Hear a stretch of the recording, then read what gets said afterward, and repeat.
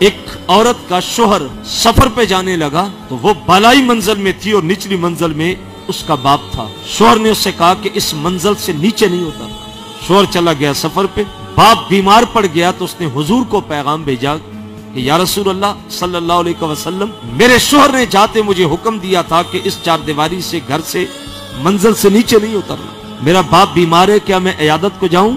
اللہ کے رسول فرمایا، نہیں۔ شوہر کی فرما برداری کا لمحے گزرے خبر ملی کہ باپ انتقال کر گیا پھر پیغام بھیجا کہ حضور میرا باپ انتقال کر گیا، شوہر نے کہا تھا نہیں اترنا۔ میں باپ کا چہرہ دیکھ لوں، اللہ کے رسول فرمایا، شوہر کی فرما برداری کر۔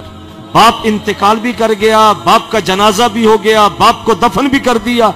اللہ کے رسول صلی اللہ علیہ وسلم نے ارشاد فرمایا، اے خاتون، سن۔ تو باپ کی عیادت کو نہیں آئی، باپ کا چہرہ دیکھنے نہیں آئی، باپ کے جنازے میں نہیں آئی۔ تو نے شور کی فرما برداری کی، فرمایا، تیری اس فرما برداری کی وجہ سے اللہ نے تیرے باپ کو بخش دیا ہے کہ تو نے شور کی فرما برداری کی آج عورت اپنے آپ کو دیکھے کہ کیا اس کے سامنے جو شوہر ہے، اس کی فرما برداری اس کے پاس کتنی ہے؟ آج اکثر گھروں کا جھگڑا جو ہم جان رہے ہیں کہ جب تک بچے چھوٹے ہیں، شوہر کے اوپر سب کچھ ہے تو فرما برداری ہے۔